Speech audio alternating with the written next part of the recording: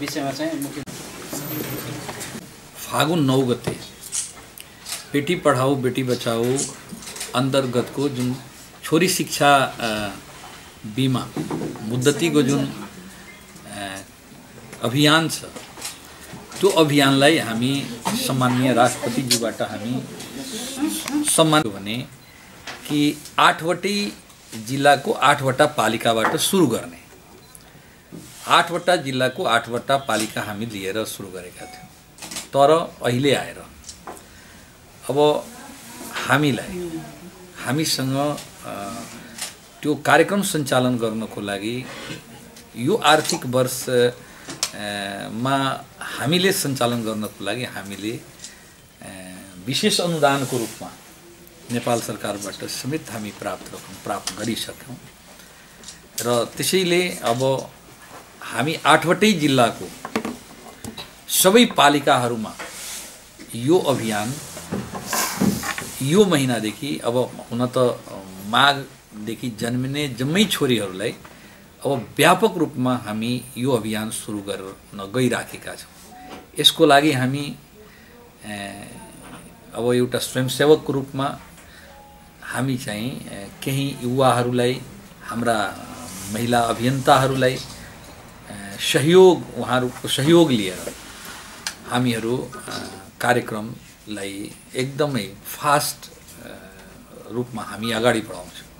त्यसैले आजदेखि आजको औपचारिक रूपमै आज यहाँहरूले बोलाएर म चाहिँ यहाँहरूको मार्फतले सबै प्रदेशका हाम्रा प्रदेशका आदरणीय दाजुभाइ दिदीबहिनीहरू प्रदेशभित्र रहने तमाम सङ्घ संस्था व्यक्तिहरूलाई यो जानकारी गराउन चाहेका छौँ कि अब यहाँ प्रदेशभित्र कुनै पनि टोल गाउँदेखि लिएर पालिका हुँदै कुनै पनि ठाउँमा जन्मेको छोरी रहेकी छन् हामीसँग केही योको त्यो वार्ड या त्यो पालिकाबाट शान्ति प्रभु ब्याङ्कसँग जुन हाम्रो सहमति भएको छ त्यो सहमतिको अनुसार प्रभु ब्याङ्कले हामीलाई हामीले पठाएको अनुसार उहाँहरू गर्नुहुन्छ हामी उहाँहरूलाई उहाँको ब्याङ्क उहाँको जुन हाम्रो खाता छ त्यो खातामा हामी एकमुष्ट रकम जम्मा गर्ने जुन एउटा कार्यक्रम छ त्यो एउटा सुरु गर्नेछौँ त्यसैले अब यहाँहरूलाई औपचारिक रूपमै अब हामी प्रदेशका आठवटै जिल्लाका सबै पालिकाहरूमा कार्यक्रमहरू आरम्भ गऱ्यौँ। यो यहाँहरूलाई जानकारी गराउन चाहन्छु। अनि सङ्घीय सरकारले कति पैसा दिएछ र अर्को कुरा यो बेटी बचाऊ बेटी पढाऊ अन्तर्गत केवल बिमा हामीले मात्र गर्ने हो सबै पाल आठवटै जिल्लामा कि अन्य जति कार्यक्रम थियो ती सबै कार्यक्रमहरू हुने भए? होइन अन्य कार्यक्रमहरू त हाम्रो एज इट इज प्रोग्राम अनुसार चलिरहेकै छ। जस्तो साइकल वितरणका कार्यक्रम जो चाहिँ अहिले टेन्डर खुलिसकेका छ। अब टेन्डर अब दुई चार पाँच दिनमै अब त्यो हुन्छ। त्यो त साइकल वितरण गर्ने कार्यक्रमहरू टोयलेट जुन चाहिँ सयवटा टोयलेट हामी निर्माण गर्ने कार्यक्रम थियो त्यसको पनि टेन्डर झन्डै भइसकेका छ। त्यो पनि झन्डै खुलिसकेका छ। त्यस्तै अन्य चाहिँ होर्डिङ बोर्डका कुराहरू थियो त्यो जम्मै चाहिँ टेन्डर भइसकेका छ। टेन्डरको प्रक्रिया पनि अब ऊ भएर अब कागजहरू डकुमेन्टहरू आइसकेका छ। त्यस्तै अन्य अब हामी अरू पनि अब यो बिचमा हामी गर्नेछौँ जस्तो कि केही जिल्लाका सदरमुकामहरूमा जस्तो कि यिनीहरू छोरीहरूलाई लोकसभाको या कम्पिटिसन तयारी सङ्घीय सरकार पनि केही कार्यक्रमहरू सुरु गरेको छ। हिजो अस्ति मात्र सङ्घीय सरकारको पनि कुरा भएछ किनभने त्यही कार्यक्रम उसले पनि सञ्चालन गरेको छ। यसमा मेरो हाम्रो तर्फबाट के छ भने कि बच्चाहरूलाई बढीभन्दा बढी बच्चाहरूलाई स्कुलमा कसरी पुर्याउने र त्यो स्कुलमा पुर्याएर उनीहरूलाई कसरी टिक्न लगाउने। त्यहाँ चाहिँ अब ड्रप आउटको नम्बरलाई कसरी घटाउने? यसको लागि हामीले पनि केही बजेटहरू त्यसको लागि पनि हामीले राखेका छौँ। त्यो कार्यक्रमहरू पनि हामी सुरु गरेर तर त्यसको औपचारिक कसरी कुन मोडालिटीमा जाने त्यो हामी चाहिँ निर्कुल गर्न सकेका छैनौँ। तर के चाहिँ गर्नुहुन्छ अब? छ- ठिक छ। अब अब यो कार्यक्रम जुन चाहिँ अब नयाँ भर्ना छ त नयाँ भर्नाको समयमा त्यो हामीले लिएर जानुपर्छ किनभने यो नयाँ नयाँ भर्ना आउनलाई पनि त यो जो। होइन होइन जतिखेर मन लाग्यो त्यतिखेर त त्यो त पढाइको क्या- क्याम्पसमा त हुँदैन नि त्यो त स्कुलमा त हुँदैन नि होइन भन्दाखेरि आज म उहाँहरूलाईसँग कुरा गर्दाखेरि उहाँहरूलाई उहाँसँग जिज्ञासा राख्दाखेरि कि टाढासम्म जुन चाहिँ अब मानिहाल्नुहोस् कि अब यो प्रदेश भनेको तपाईँको अब हाम्रै जिल्ला भनेको त्यो ठोरीसम्म हुन्छ थोरी हामी वीरगन्जबाट पुग्नलाई कमसेकम अढाई तिन घन्टाभन्दा बढी लाग्छ मोटरसाइकलले गाडीले। भनेपछि एकजना महिला कसरी त्यहाँ पुग्न सक्छन्? त हामीले महिलालाई कम आकलन गरेको होइन तर उहाँहरूको पाएको अनुसार हाम्रो प्रयास हुन्छ कि सहर सकभर उहाँहरूको पाएक ठाउँमा गर्ने अलिकता युवाहरू अलिकता अलि अलि अलिक दौड्न सक्ने अलिकता रफ्तार हुनेहरूको पनि हामी गर्छौँ। सकभर हामी चाहिँ अब पहिलो चरणमा सोच छ कि चालिस पचासजनालाई हामी अहिले चाहिँ हामी प्रशिक्षण यो गर्नेवाला छौँ। हामी चाहिँ त्यसरी सेवकहरूको माध्यमले हामीले ल्याउने कलेक्सन गर्ने ल्याउने र हामी इमिडिएट त्यसलाई चाहिँ अब कार्यान्वयनमा जाने गरेर राखेका छौँ। त्यसैले मुख्यमन्त्रीजी धेरैले भन्छ यो यहाँको जुन यो अभियान छ। त्यो सकारात्मक तर प्रचारमुखी भयो। परिणाम अहिलेसम्म केही देखाएको छैन। अब अब प्रचार भएपछि पहिले त प्रचार पनि यो कार्यक्रमको लागि उत्तिकै आवश्यक छ।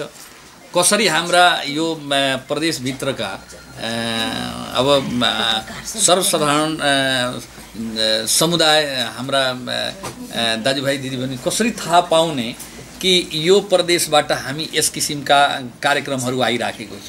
प्रचार त हामीलाई झन् अहिले त पुगेकै छैन। अहिले त मैले उहाँले भने कि सबै एफएमहरू कुन कुन मिडियाहरू छन् सबैले अब जानकारी गराउनुहोस्। प्रचार अहिले पुगेकै छैन। प्रचार किनभने यहाँ नगरमा हुनुहुन्छ। त नगरमा भएपछि अलिकता यहाँका सु- मिडियाबाट तपाईँ सोध सोच्नुहोस् त त्यो त्यो एकदम एकदम अलिकता हामी यो प्रदेशभित्रको नि अलिकता टाढाका त्यो सिन्धुलीसम्मका बोर्डरका मान्छेहरू कसरी थाहा पाउँछन् भन्नुहोस् त। त्यसैले जति यसलाई प्रचार गर्न सकियो त्यतिकै राम्रो हुन्छ। किनभने जनतामा त सचेतना त आउँछ कि हे होइन।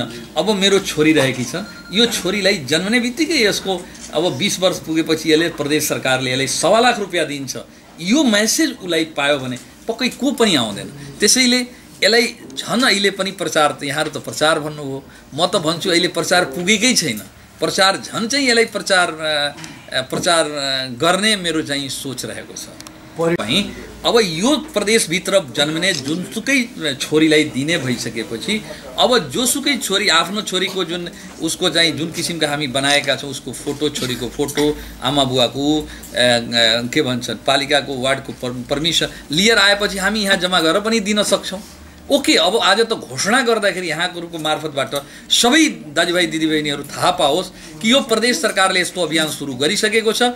मेरो छोरी जन्मिसकेपछि मेरो छोरीले यतिको उसको बिमा पाउँछिन् भन्ने यहाँहरूको मार्फतले पनि यो मेसेज जानुपर्छ। र अब मलाई के लाग्छ भने प्रचार होइन अब हामी यहाँहरूलाई काम गरेर नै देखाउँछौँ। जबदेखि यो कानुनी जब मान्यता पायो नि नेपाल सरकारबाट त्यसपछि अलिकता बडो ऊ भयो। अब हामी यसमा पनि गम्भीर छौँ कि हामी प्रदेश स्तरबाट कसरी त्यस्ता किसिमका यो पनि एक किसिमको अ काइन्ड अफ के भन्छन् ए काइन्ड अफ मर्डर हो अ काइन्ड अफ किलिङ किन भन्दाखेरि भ्रूणमा यो जान्दा जान्दै र बढी चाहिँ अब छोरालाई मार्दैन मान्छे।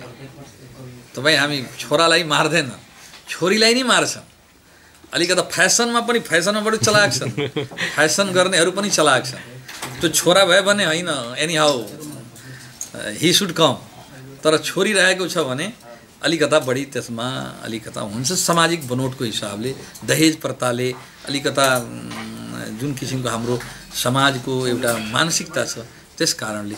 त्यसैले मलाई के लाग्छ कि हामीले हाम्रो अभियानहरू अब बिस्तारै हामी अब हामी त थाल्ने त गरेका छौँ।